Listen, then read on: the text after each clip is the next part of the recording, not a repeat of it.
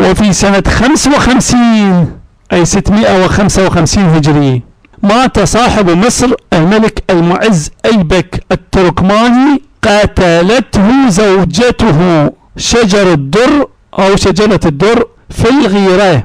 التفت لا يوجد أي مشكلة.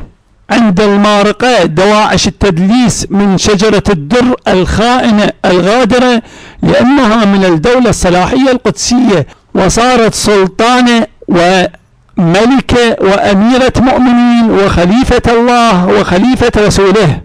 لا يوجد غدر لا يوجد خيانة لا يوجد قتل لا يوجد معصية لا يوجد خيانة زوجية لا يوجد عقوبة.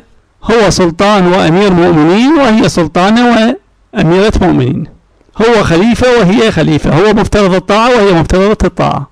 وضاعت الأحكام وضاعت العقوبات وضاع القصاص. فعن أي حدود وأي قصاص يتحدث دواعش هذا العصر؟ وهؤلاء هم أئمتهم في في الدول القدسية المقدسة عند ابن تيمية. وجرت فتنة مهولة ببغداد بين الناس في سنة 655 هجري. يقول وجرت فتنة مهولة ببغداد بين الناس وبين الرافضة.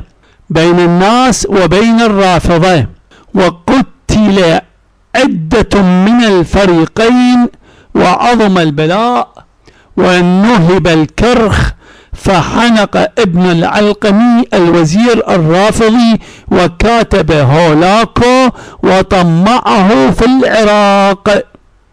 أقول معجزة تيمية كبرى في في إثبات علمهم بالغيب.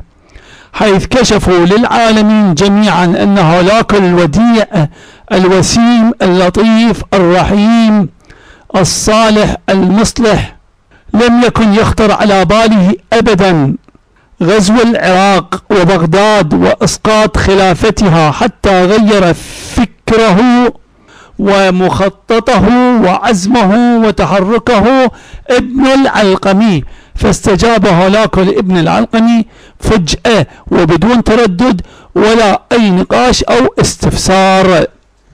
يكمل يقول فجاءت رسل هولاكو إلى بغداد وفي الباطن معهم فرمانات لغير واحد. فجاءت رسل هولاكو إلى بغداد وفي الباطن معهم فرمانات لغير واحد لأكثر من شخص لأكثر من رمز لأكثر من عالم. لأكثر من فقيه لأكثر من مسؤول لأكثر من مملوك. معهم كتب من هولاكو أوامر مغولية سلطانية مغولية تعيينات مؤامرات طلبات.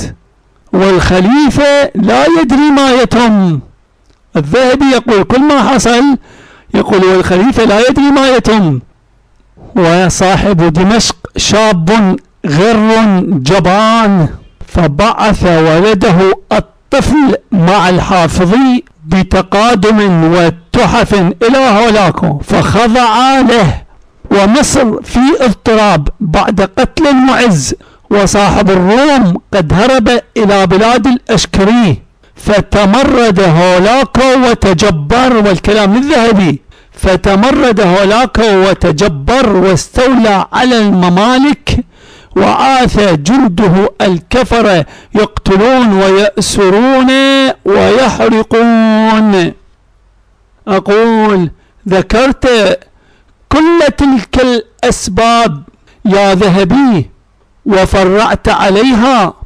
تمرد هولاكو وتجبره فلماذا استثنيت بغداد من هذه القاعدة والأسباب التي أدت إلى استيلاء هولاكو على البلدان؟ أو أنك غفلت هنا عن أن ابن العلقمي هو الذي رغبه وحث هولاكو على غزو تلك البلدان كلها.